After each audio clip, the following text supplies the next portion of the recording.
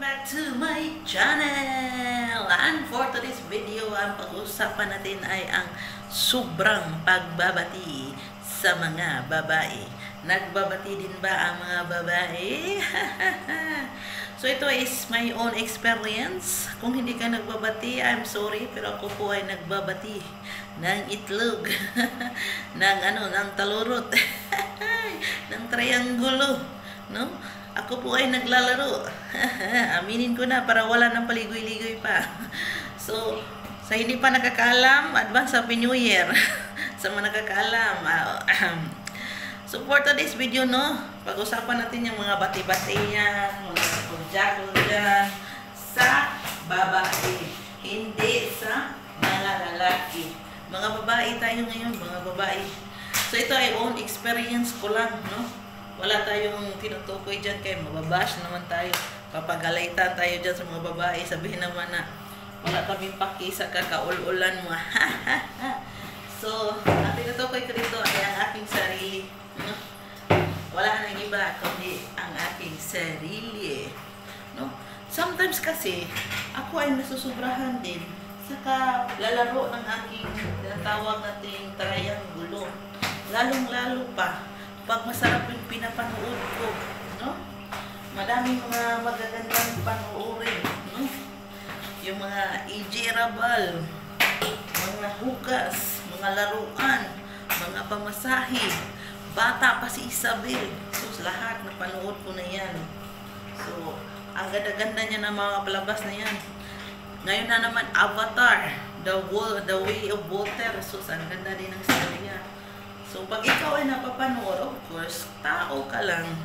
Maano ka talaga, yung parang madadala ka sa eksena. Lalong-lalo na kaming mga nasa malayo. parang feel na feel mo yung eksena na ikaw yung bida. so, sa mga ganyan, minsan, mga tatlong beses, apat beses, limang beses ang nangyayaring paglalaro. So, anong nangyayari? Anong paglabis na yung paglalaro ng babae? Ito yung mga na-experience ko na dapat nyong malaman. No? So, una, so, sobrang happy ng tinggil ni, ni auntie ninyo. Nasubrahan na. Eh, umabdi na yung ano, siwit. No? Sobrang happy na sa kakapaglaro. Kay, laro ng laro, ah, sobrang happy na. Tapos, pangalawa namang ano, na pangyayari is, makakalimutin.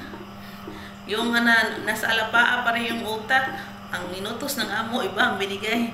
Tapos tawa ng tawa na wala namang tatawa, uh, wala namang ano, nagkukurong na ba si Inday ba?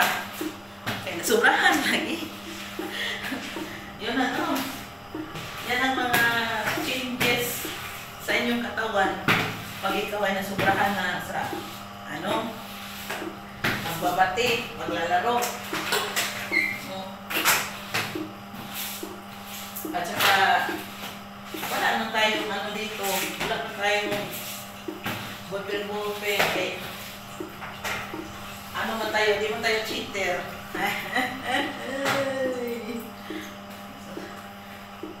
ano pa ba? Wait for a while, kay nag-message itong aking anak, akin mo nang replyan. Uh-huh. Ang mga ano sa katawan pag ikaw ay nasubrahan sa pagbabati, yun na nga sinasabi ko, no? Yung own experience ko.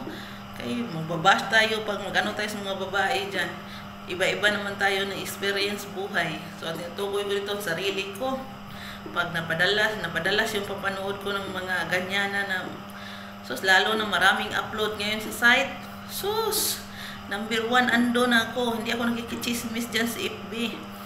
Doon ako nakikipanood sa mga ganyan. Pang ano sa, pang pastime ba, pang pawala ng stress, no? So, kung gusto nyo anuhan ng link, no, sa site, mag, mag-message kayo sa aking page, Erin Kabang or yung Inday Bagad.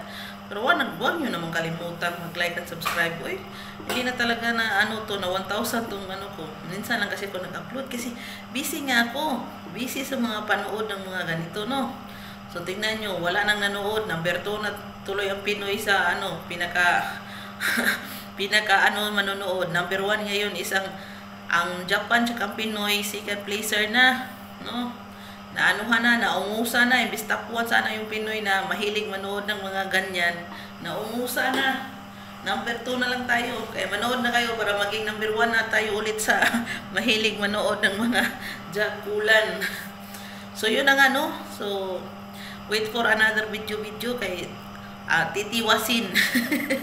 sa Bisaya pa, tiwason sana ako ning paghinlo dres banyo. Bye bye.